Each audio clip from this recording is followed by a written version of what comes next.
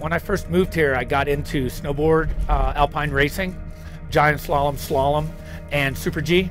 And uh, that was one of the big things at the time. So I jumped right in, both feet, and within probably two years was uh, a very high level athlete in Summit County.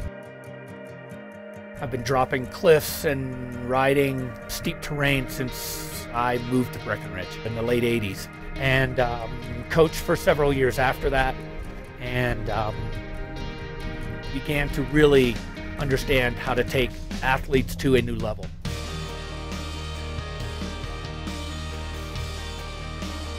Breckenridge is a great draw for Olympians.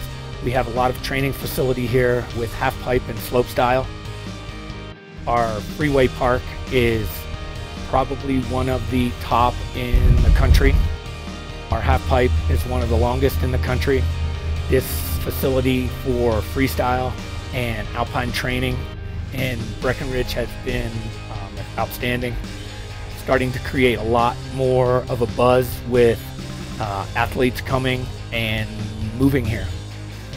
A lot of times in the freestyle realm, they uh, athletes are looking for a well-groomed park, a well-groomed pipe, something that's going to be high standard so no matter where the competition is, they will be able to go and transfer that knowledge, that experience to the new terrain of whatever resort they're going to compete at.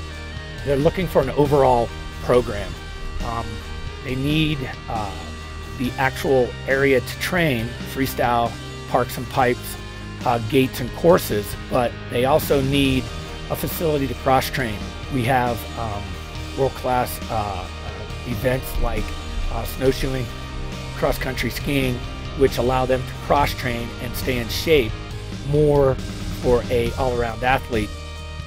The snow that we get at Breck is so light and so fluffy that it's one of those things that enables us to ski those steeps, jump those rocks, you know, launch those cliffs and that probably is what tempted me to stay here for such a long period of time. We can teach anything from beginner to expert level and anything in between.